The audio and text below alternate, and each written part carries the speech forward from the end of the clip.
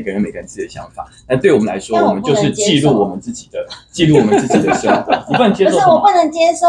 因为其实大部分人还是很理性的，啊对但是我不能接受的是那少数的理性的不理性的人攻击，比如说我的家人，或者是讲一些嗯就是非常威胁的话。应该是不会有这方面的一个问题，这样子。嗯，那你这次自费啊，没问题啊。对啊，我对是自费啊，我们全程自费，全程自费。对超无辜，因为我们其实真的是去年底就开始安排的家族旅游，对啦，对，对，但因为我们的频道一直以来就是记记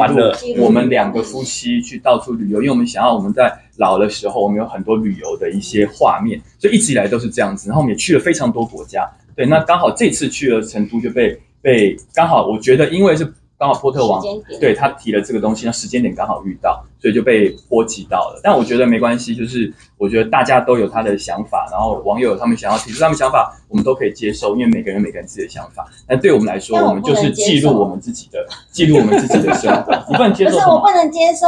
因为其实大部分人还是很理性的，啊对但是我不能接受的是那少数的理性的不理性的人攻击，比如说我的家人，或者是讲一些嗯就是非常威胁的话。因为毕竟还是很多是就误传嘛，或者是听听听来的，可是就直接会有一些文字是攻攻击到家人的，我觉得就是会有点不舍啦，这样子。嗯嗯，我觉得其实也没必要啦，因为我个人其实是一个蛮和平主义者，我觉得真的就是我也不会上去跟人家比战啊，因为我觉得其实越越讲越多，只是伤害彼此的感情。我觉得他们也会来看我们，会会有这个想法，因为他们看我们看我们的表演，所以他如果有想法就让他去发泄。但我如果跟他一起去做这样的事情的话，其实就是让双方都不开心。那没关系，让他发泄完了，我还是做我自己本分娱乐界演艺人员该做的事情。那他如果愿意再继续来看我们的表演，那我也很开心。但我自己是不喜欢去做比战这件事情，或者在网络上发表一些就是个人太多想法的一些事情，这样子没有哎、对，我们就后续还是会